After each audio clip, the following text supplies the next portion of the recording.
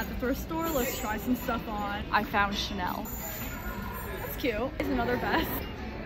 I think it's a little big, but it's cute. I can see it.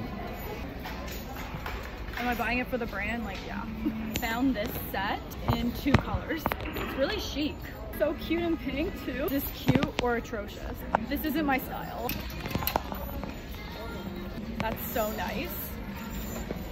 I don't need it. I thought this would be cute for bridal things, but I think it's gonna be too big. Vintage Sears. but that would have been cute. This faux, faux fur. Dylan thinks I look like Macklemore. I look like the Ikea monkey. this thing I found, I don't know if they're real, but this is what they look like. I'm gonna get them anyway. Flip flop for real? Yeah, we're spending less than $20 on Chanel and Christian Dior today.